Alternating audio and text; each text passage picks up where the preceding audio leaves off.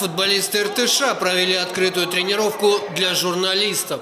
В новом сезоне наша команда будет выступать в группе номер 4 второго дивизиона футбольной национальной лиги. У мячей серьезные соперники в споре за лидерство – клубы из Тюмени, Челябинска, Ульяновска и Новосибирска. По словам главного тренера РТШ Александра Горшкова, команда готовится в форсированном режиме. Мы такими ускоренными темпами пытаемся максимально, чтобы ребята сыгрались, ну, дать им какую-то общую информацию, общие идеи какие-то предложить, вот, чтобы это произошло быстрее. На тренировках отрабатываются разные варианты. Быстрые атаки с контроля или перехвата, финты, обыгрыш один в один, удары, отбор мяча, стремительные атаки. Все это важные моменты в новом игровом почерке РТШ. В любом случае будем придерживаться э, контроля мяча.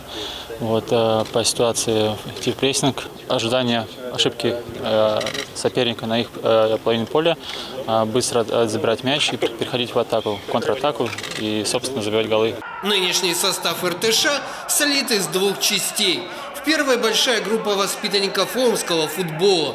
На флангах действуют Артур Шлейермахер и Олег Тарабанов. В защите Александр Керпс. Реальный шанс заиграть в основе получили молодые футболисты Арман Маркосян и Владислав Левин. Александр Ильич хороший тренер, потому что, как бы, понятно, конкуренция есть, но он доверяет, как бы, при любой возможности. Есть все шансы как бы все так просто не может быть. Нужно через конкуренцию стараться и при любой возможности, если выпадет шанс, буду его использовать. Вторая группа – новые игроки. Два опытных защитника – Артем Пасько и Антон Куксин, пара вратарей Руслан Юнусов и Надарий Кочелава, полузащитник Владислав Павлюченко, нападающий Кирилл Макеев.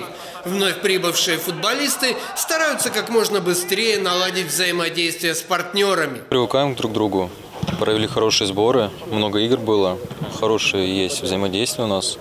В принципе, каждый понимает, куда отдавать, куда бежать, поэтому смотрим только с позитивом на будущие игры. Первые матчи первенства Иртыш проведет на домашнем поле в манеже спорткомплекса «Красная звезда». 20 июля соперником нашей команды будет «Зенит» Ижевск, а 23-го мячи сыграют с клубом «Амкар Пермь».